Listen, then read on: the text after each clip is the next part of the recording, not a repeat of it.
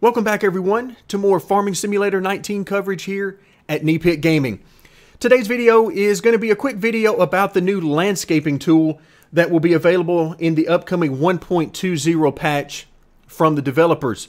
Uh, what I've done is downloaded the beta 1.20 patch through Steam and we're going to do a quick demonstration. So the main thing that I wanted the landscaping tool for was to fix some of these issues that you get with the terrain deformation by default when you're placing these buildings. Of course, we know that the terrain deformation also costs money in the base game when placing buildings, and the landscaping is going to be no different. It is also going to cost money. So keep an eye out in the top right-hand corner of the screen where you can see our money listed and how that will decrease as we play around with this tool a little bit. So to access the landscaping tool, we will open up the storefront and on the far right hand side of the screen, we have the shovel icon and we will simply click on Start Landscaping. Now that brings us into the same basic view that you get whenever you're placing buildings. We can zoom in and out. We can also adjust the size of the brush. You can see the current brush size is 6 in the bottom right hand corner. We can increase that or decrease that with the arrow keys. If I press the left arrow key, that will decrease the size and then right arrow key will increase the size. So we're going to go back to the default of 6. The brush strength can be increased or decreased by using left control and Q or E. Left control and Q will lower the brush strength. Left control and E will increase the brush strength. Now the brush strength is going to affect how much of a change uh, happens every time we click on an area. So the higher the brush strength, the more money we're going to be spending and the more dramatic the results are going to be. So we're going to leave this at 0.1 because I think that's going to get us where we need to go. But again, keep an eye out on uh, the money as we work. So we're going to start off with this sort of the end of the ditch area over on the side. And we have basically four options when working with uh, the terrain we can raise it with left click, we can lower it with right click, we can try to smooth it with the middle mouse button holding it down, or we can use left and right mouse buttons together to try to flatten an area. Let's start off by trying to smooth. We're going to try to smooth this area out. And so I'm going to hold down the middle mouse button, and as I move, you can see that the terrain is indeed making a smoother transition from the higher terrain over here to the lower terrain that is in this area. So as I continue to move around, you can see it's not costing us a terrible amount of money right now, but just again, keep in mind, we're making small adjustments. And as I zoom in, you can see that is much better than it was by default. As we move down, you can sort of compare the two. Now, what happens if we decide we want to raise the terrain?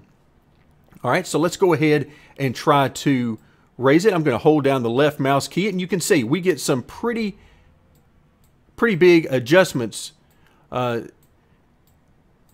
there we go.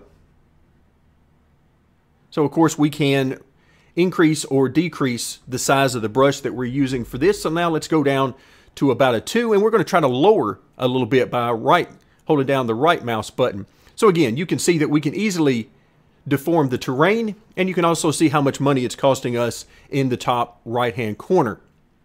So now let's try out the flatten function. First, let's go ahead and increase our brush size. We're going to go up to 10 this time to give us uh, quite a bit of area. And now you can see we have, it's doing a pretty good job of it for the most part. And again, I'm not doing a great job of actually wielding the tool right now, but you can see sort of how this option works. And again, how much money it would cost. Okay, and also notice that as we move the bubble over an area where we've placed a building, it will not allow us to modify the terrain within any of this particular area. Let's rotate around and you can see it is very stringent about the area that we can work with and just off the side there we can actually start to work with this area. So let's go ahead and work a little bit over in this corner and I'm going to actually use the flatten just to show you a little bit more of how the flatten works. And you can see it is flattening it indeed, but it's creating a uh, quite a bit of a cliff and spending our money along the way.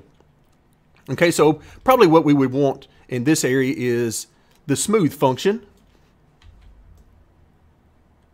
as that would raise the terrain. You can see if I hold it in the same spot, then it's certainly helping out to smooth the area. For those of you who might be following along with our gameplay series of Farming Simulator 19 on the channel, don't worry. This is the same uh, farm that we're working with in the gameplay series, but this is a different save, so you won't have to worry about me messing up the uh, terrain just trying to make this video. So once again, just trying to smooth out some of these areas, and you can see all of this mess we've created can be undone along the way as we're able to quickly and fairly easily smooth some of this out. All right, so those are some of the things you can do with uh, the landscaping function, but there is a second option at the top. Not only can we sculpt, but we can also paint. And on the left-hand side of the screen, you notice in that menu that X is to change landscaping mode. So I'm going to press that now, and we get to choose in the bottom right-hand corner the actual uh, terrain that we want to paint with. So which texture do we want? We get to choose in the bottom left-hand corner. Let's actually go ahead and make our brush um, a little bit bigger. And then we're going to press Tab to move through some of our options. And then we're going to paint the ground a little bit with some of these and see how they look. So we'll start out with the first option. Then we'll zoom in a little bit and you can see what that looks like. And then we'll tab again and we'll place down a little bit more. Again, zoom in just so you can see what that looks like. There you go. Now you get into the dirt. Great for dirt roads. And then we'll move over here for some sand. And again, you can zoom in, sort of see what these textures look like as we're moving around. Okay, let's press tab again. And we're going to lay out yet another texture until finally we're going to get to just the plain grass. Now the plain grass is an easy way.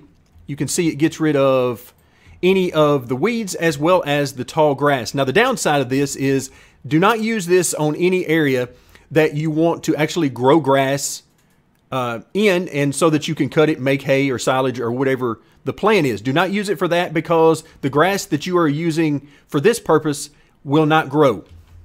So we can use it to get rid of all these weeds and change quite a bit around, but again, this grass will not grow. So we can go ahead and put a little different area there in the middle. So that'll give you an idea of what is upcoming in the 1.20 landscaping mode. Thank you very much for joining me and stay tuned as we will continue our support for Farming Simulator 19.